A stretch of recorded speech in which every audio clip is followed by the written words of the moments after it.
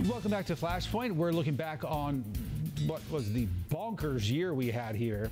When Joe Biden takes the oath of office in just a few weeks, he really has one Carolina man to thank. By all accounts, Biden ran a horrible campaign in the primaries in the spring, losing one after the other. He didn't even come close in those early ones. He was totally written off by a lot of folks. Then, a single endorsement in the state of South Carolina changed the course of his campaign and therefore history. Congressman Jim Clyburn announcing his support for Biden. Political analysts say that decision, that single decision, ended up winning the primary for Biden, eventually winning the nomination, changing everything.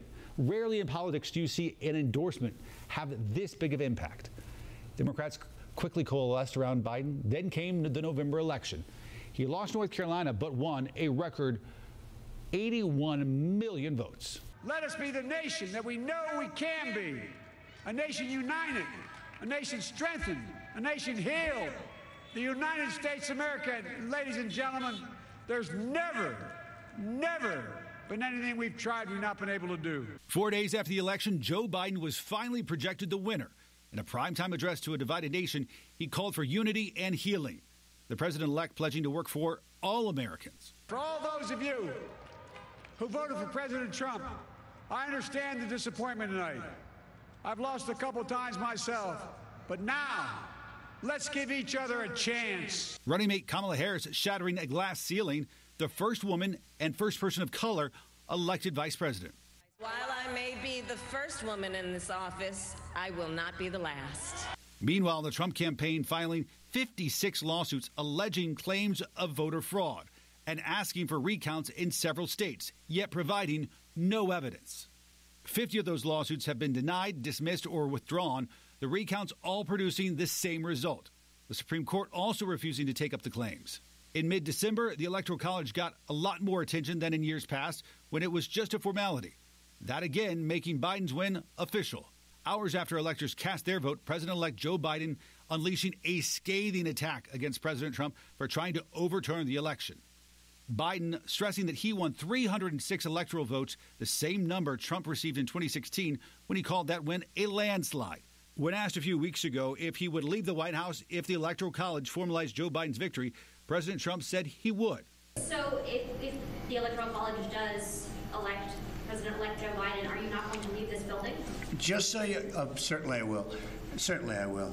And you know that. On January 6th, Congress will officially count those electoral votes with Biden to be sworn in as the 46th president two weeks later. While President Trump didn't win overall, he once again carried North Carolina, and on his coattails, Republicans winning big in the Tar Heel state. The biggest one, perhaps Senator Thom Tillis. While down in almost every single poll, some by 10, 12 points, he came away the winner after all the votes were counted. The race between him and Cal Cunningham ended up being the most expensive Senate race in the country's history ever. But just weeks ago, a lot of drama. Tillis came down with COVID after attending a ceremony at the White House for Amy Coney Barrett. But it was Cunningham who had the bigger scandal, getting caught sexting a woman outside of his marriage. Cunningham then going basically silent for the rest of the campaign when supporters really needed to hear from him most. But it wasn't just a scandal that helped Republicans. Across the board, they won big here. Analysts we talked to say that when Democrats looked confident, that may have sent Republicans running to the polls. Uh, we are here today to celebrate an absolutely fantastic election day. North Carolina's Republican Party chair thrilled about his party's wins from the state's first African American Republican lieutenant governor to several key congressional races. We're also very excited about the three uh, congressional races that we had here in North Carolina, which were contested. The Republican Speaker of the House says now, though, it's time to work together with Democrats. But at some point in the near future, we have to eventually put aside being Republicans, being Democrats, and realize and recognize the fact that we're all Americans. Republicans also winning big in the courts here in North Carolina. Republican Paul Newby beating out Democratic incumbent Cheri Beasley for the Chief Justice seat. Newby won by just 400 votes. Keep that in mind next time you think your vote doesn't count. Also important to note, the 2020 election, the first time ever that Republicans have swept all eight state judicial races, races here in North Carolina. History also made here in North Carolina in the state's 11th congressional district at just 25 years old. Madison Cawthorn will become the youngest member of Congress. This is video of him at the RNC while, where he got out of his wheelchair to stand up after a speech. Cawthorn has been in a wheelchair since 2014 when he was paralyzed from a car accident. Well, we were expecting a close Senate race in South Carolina, but that's not really what ended up happening. Lindsey Graham going on to win another term, beating out Democratic challenger Jamie Harrison. Harrison became one of the most successful Senate candidates when it came to fundraising, raising, get this, $57 million in the third quarter alone. That led to a flood of outside money as well. Lots of commercials on your TV, too. Graham had never faced an appointment with so much money. Many polls show the race tied or neck and neck right up until election day. However, honestly, in the end, Senator Graham won by a solid 10 points. And we can't forget, less than two months before the election, the world lost an icon. At the age of 87, Supreme Court Justice Ruth Bader Ginsburg passed away.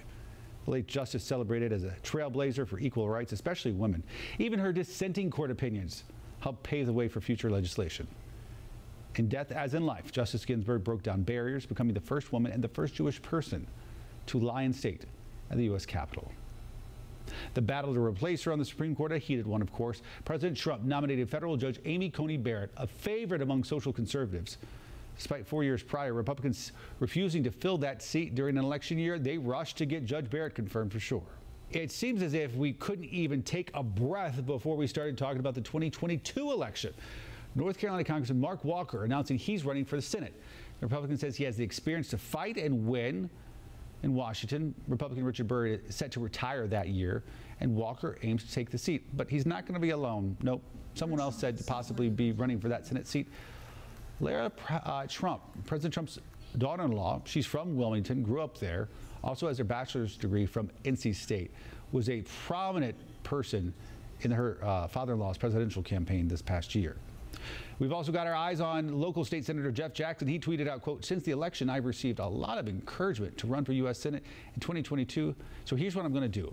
Marissa, his wife, and I are going to talk about it over the holiday. Family considerations come first, politics second. I'll update you after our family talks it over. So stand by for news from Senator Jeff Jackson coming up in the new year.